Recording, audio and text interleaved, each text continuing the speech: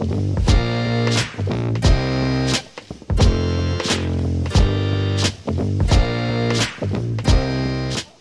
name is Roe Grace. Jack Bindley, Jonathan McGowan, Chris Johnson, John Veirs, Samuel Zimmerman. This is Austin Gelsomino. Caleb Schnurbusch. Emi Sanders. I'm a fourth year in the five-year program. I'm Keith VanDeRiet, uh, the instructor of the studio, uh, an associate uh, faculty here at KU Architecture. The Design Build Studios are a great experience. Um, the students come in often without um, much in the way of construction experience, but also from the architectural side, the furthest they've ever had to push a project was really uh, still on paper.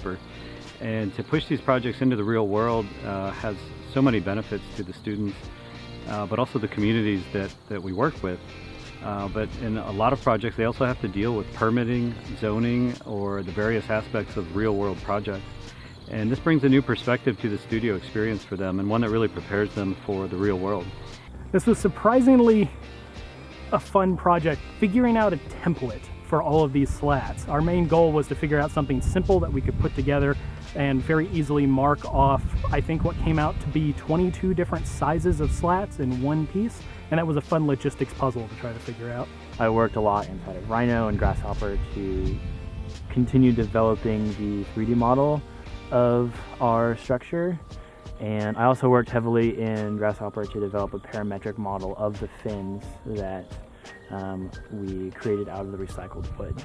I pulled probably two back-to-back all-nighters just trying to figure out the scripting that we had to use for Grasshopper in order to generate these fins and it was sort of all kind of relying on me getting that right because we had to then use those drawings to create the CD set and create John's template. Probably just how much reworking we had to do just because of the nature of the recycled material. Um, these wood slats are made from recycled telephone poles we got from Westar, and unfortunately, only maybe about half of what they gave us was usable, just due to the nature of it being recycled, and we didn't get to find out a lot of that until after we had built some of them. And in design build, the experience we have is that there are mistakes, we have feedback loops, we have um, debates among the students, what ideas should move forward.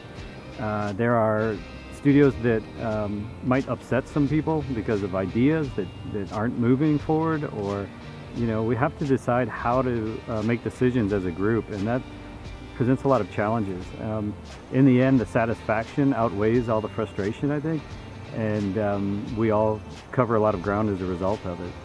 Definitely getting the hands-on experience kind of understanding how construction documents went, as well as learning how to like weld, do all the fabrication, and in the end, it was all worth it. So I think the big takeaway uh, for me was probably the overall experience of the teamwork uh, that everyone um, had, uh, the ability that you know for all of us to come together and, and create something.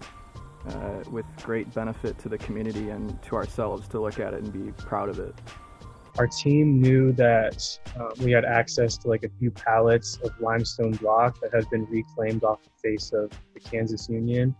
Um, so we developed a form by dry stacking the stones into layers and figuring out a good shape that worked with our design. We also worked with the legend Karl Ramberg. My name's Karl Ramberg, and uh, I worked as a kind of a advisor to the class. One of the things that I've been trying to uh, do in my life is uh, try to get stone carving back into the vocabulary of the architect. One of the most interesting ways I've found to, to try to do that is, is through these design build classes. I wanted uh, the students to get a sense of uh, how stone is worked and how, how you manipulate stone and uh, and how you design using stone. My role in the project was taking charge of the cairns and shaping them to their final design and pouring the footings for those cairns as well. Trying to take the cairns apart and put them back together again, um, matching those pieces up were very difficult. Definitely learned a lot of teamwork. Um, in studios, I feel like we don't get that a lot. So we can work together, but this was actually like we had to work together and kind of come together as a whole to create something that was all coherent.